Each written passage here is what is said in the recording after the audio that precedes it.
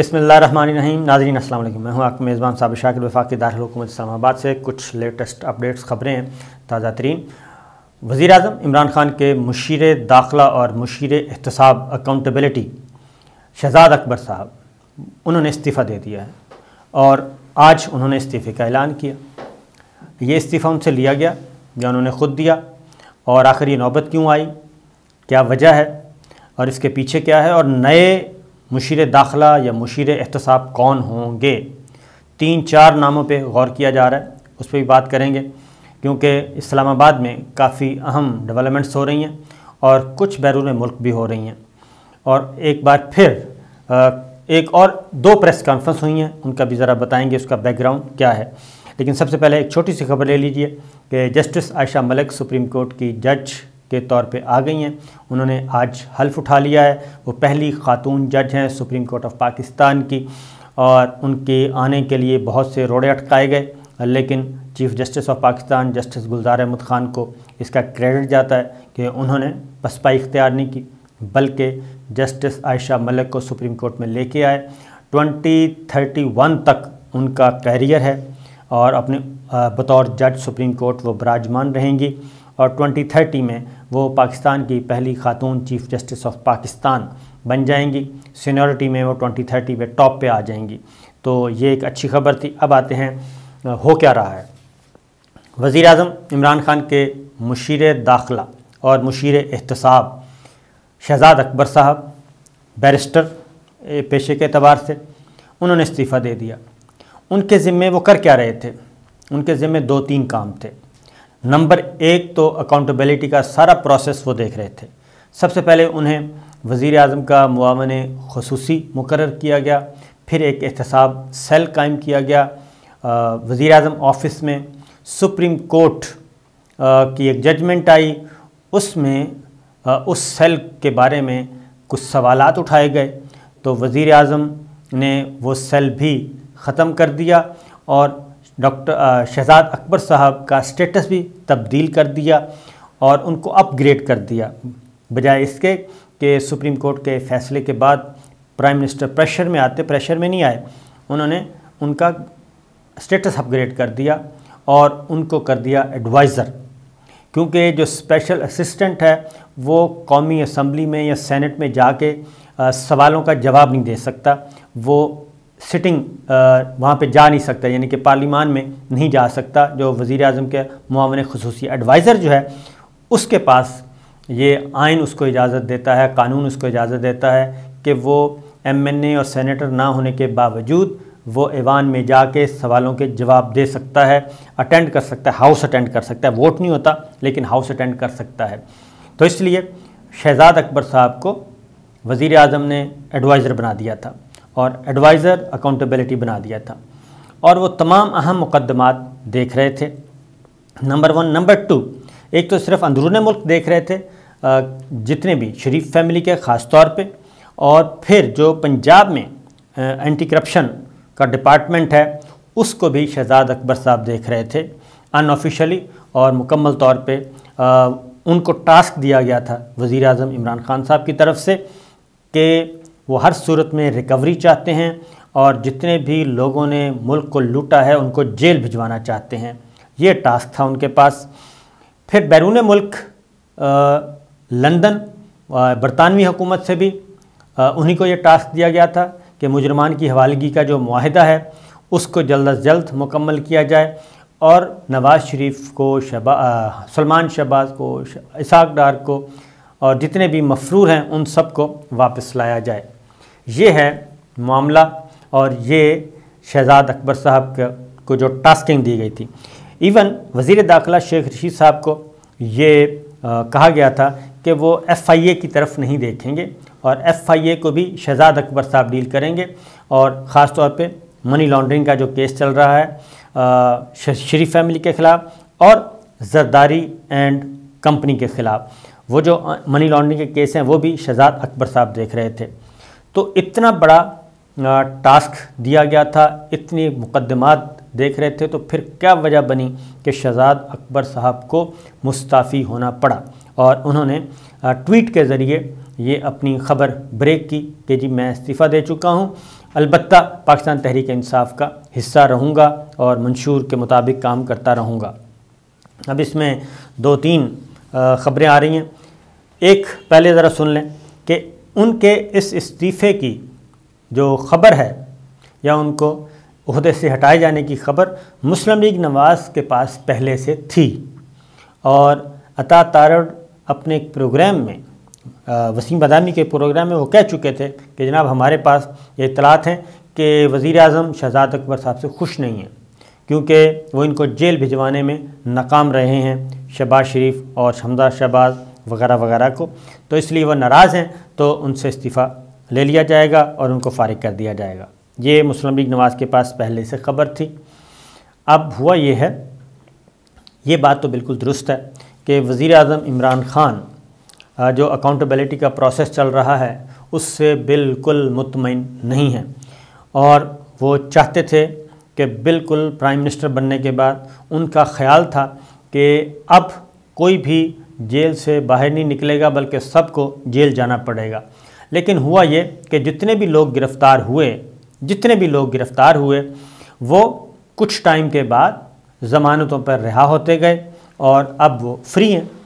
उनमें शाहिद खकान अब्बासी हैं, ख्वाजा आसिफ हैं, ख्वाजा सलमा ख्वाजा साद रफ़ीक हैं, ख्वाजा सलमान हैं राना सनाउल्ला साहब हैं।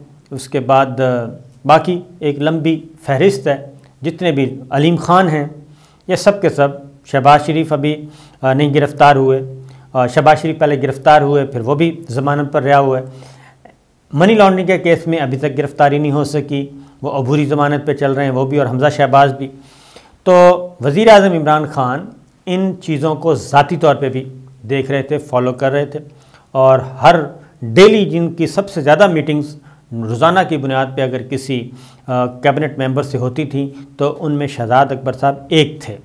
ये वज़ी अजम इमरान ख़ान की प्रायोरिटी नंबर वन थी। लेकिन आ, हुआ ये कि पिछले कुछ अरसे से वज़ी अजम इमरान ख़ान इससे मुतमिन नज़र नहीं आ रहे थे।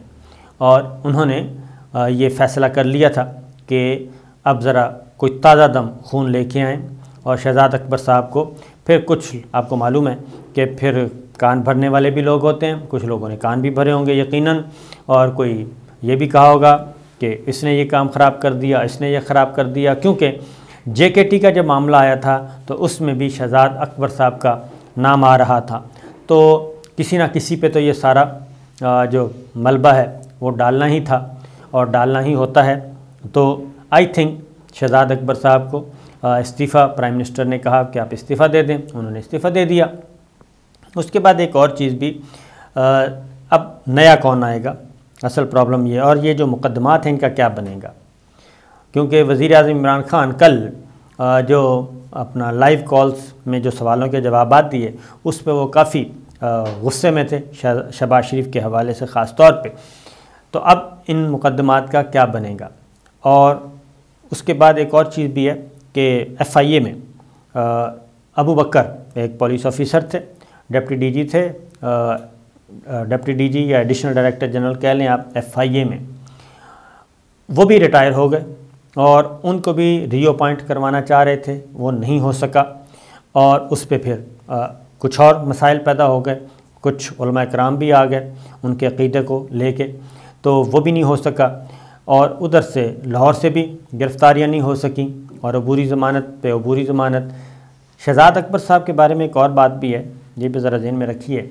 तो शहजाद अकबर साहब इससे पहले नैब में रह चुके हैं और उस वक्त उन्होंने इस्तीफ़ा दे दिया था जब एन डील हो रही थी परवेज़ मुशरफ साहब के ज़माने में। तो अब फिर चूँकि उसी तरह की आवाज़ें आ रही हैं, उसी तरह की गुफ्तु हो रही है और यकदम माहौल में तेज़ी है आज एक तो मरियम औरंगज़ेब साहिबा ने बहुत ही एक तलख किस्म की, प्रेस कॉन्फ्रेंस की और उसमें उन्होंने वज़ी अजम इमरान ख़ान को बहुत ज़्यादा डिसग्रेस करने की कोशिश की, नाजेबा गुफ्तु भी की और इसी तरीके से फिर उसका जवाब डॉक्टर शहबाज गिल ने दिया। तो बहुत ज़्यादा तलखी मौजूद है। इस दौरान एक और चीज़ भी चल रही है कि नवाज़ शरीफ के ख़िलाफ़ अब अगली बात यह है कि आ कौन रहा है?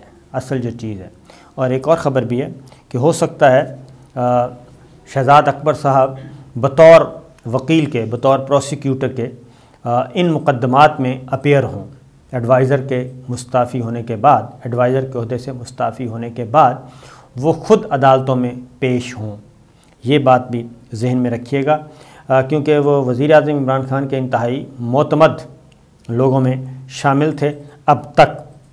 मैंने बताया ना, जैसे कि कि डेली जो सबसे ज़्यादा रबता था वज़ी अजम इमरान खान से, वो शहजाद अकबर साहब का था। तो एक इतला ये भी है कि वो प्रोसिक्यूटर के तौर पे अपेयर हुआ करेंगे इन तमाम मुकदमात में क्योंकि किसी और वकील पे शायद एतबार नहीं किया जा सकता। हुक्मरान जमात जो है वो शायद एतबार ना करे। तो जो कुछ वो जानते हैं क्योंकि उनका लंदन में भी आ, एक सेटअप है वहाँ से भी कोई इन्फॉर्मेशन और अंदरून मुल्क भी फिर पहले भी नैब में रह चुके हैं। तो यह सारी चीज़ें हैं।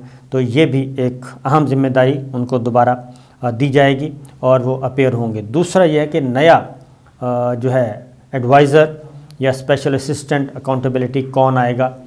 इस सिलसिले में एक तो सुप्रीम कोर्ट के एक वकील हैं एडवोकेट हैं और लाहौर बेस्ड हैं, उनका नाम लिया जा रहा है कि वो आएँगे और वो भी उनका क्लेम है कि वो बहुत ज़्यादा इस सिलसिले में काम कर सकते हैं।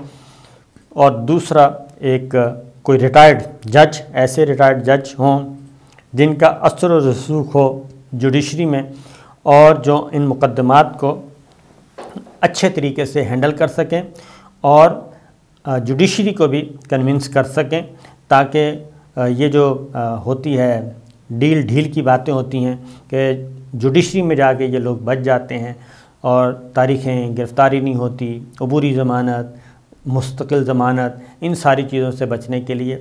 तो एक एडवोकेट हैं, लाहौर बेस्ड हैं, काफ़ी मरूफ नाम है। एक तो उनका नाम लिया जा रहा है कि वो आएँगे। दूसरा रिटायर्ड जज ऑफ़ हाई कोर्ट या सुप्रीम कोर्ट। तो ये भी ज़ेर गौर है। तो देखना है कि क्या जिन रिटायर्ड जज को वज़ी अजम इमरान ख़ान लाना चाह रहे हैं, क्या वो भी आना चाहेंगे? इस मौके पे जबकि सिचुएशन बड़ी ही आ, हुई हुई है गंभीर हुई हुई है।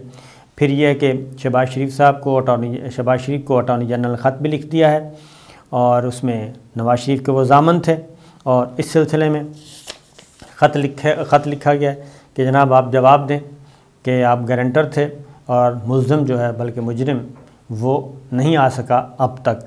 कानून और जबते की कार्रवाई पूरी की जा रही है और उसके बाद शहबाज शरीफ के ख़िलाफ़ तोहनी अदालत की कार्रवाई शुरू करने का इरादा है और इसी तरीके से नवाज़ शरीफ को वापस लाने का। तो ये सारी चीज़ें चल रही हैं लेकिन बड़ा दिलचस्प माहौल है इस वक्त वफाकी दारकूमत इस्लामाबाद में और डॉक्टर शहबाज गिल ने ख़ास तौर पे एक बात की है और वो बड़ी खुल के बात करती है। वो इन अगली वीडियो में बताएँगे। इजाज़त दीजिए, अल्लाह हाफिज़।